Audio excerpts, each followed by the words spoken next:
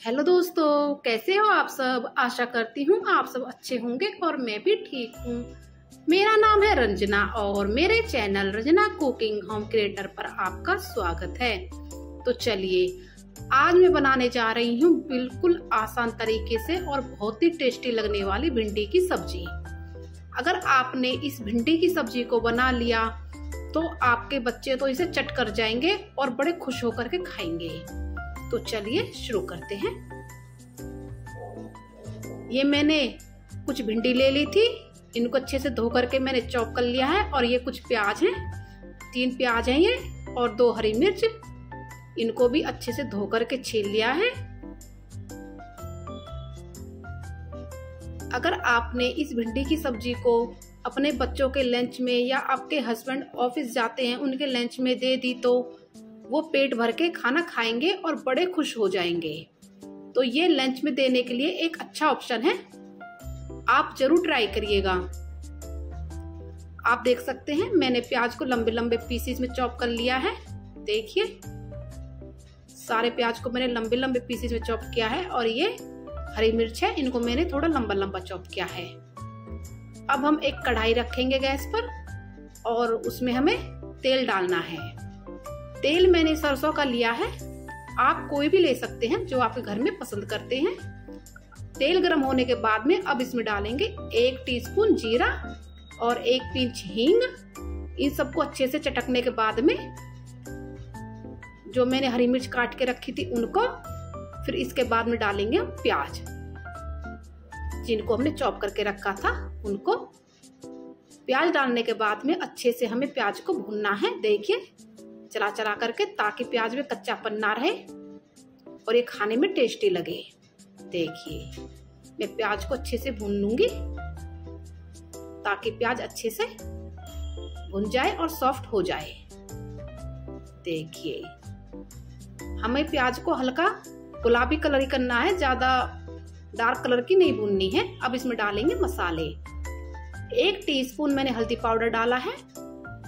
और एक टीस्पून लाल मिर्च पाउडर और दो टीस्पून धनिया पाउडर।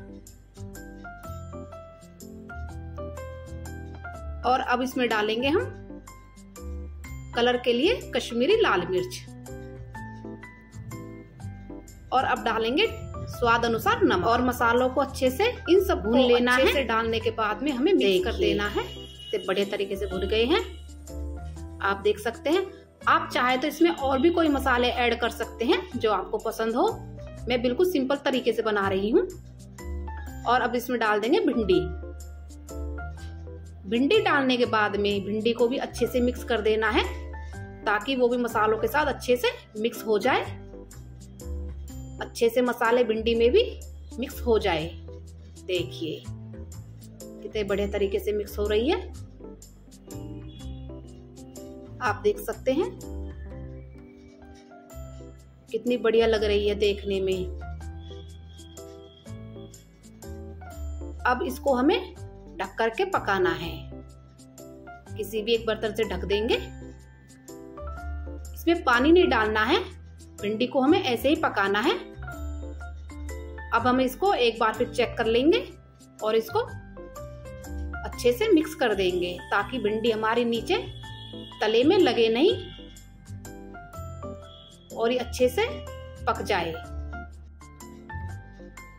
देखिए, भिंडी हमारे अच्छे से बन करके तैयार हो गई है। मैं आपको एक बार फिर इसको मिक्स करके दिखाती हूँ। देखिए, भिंडी अच्छे से पक चुकी है। और बिल्कुल खिली खिली भिंडी बनी है। देखिए, कितनी टेस्टी लग रही है। अब इसमें डालेंगे हम नींबू का रस। नींबू का रस भिंडी में डालने से भिंडी की सब्ज़ी इतनी टेस्टी लगती है। आप नींबू के रस को स्किप भी कर सकते हैं। इसकी जगह आप आमचूर पाउडर भी डाल सकते हैं।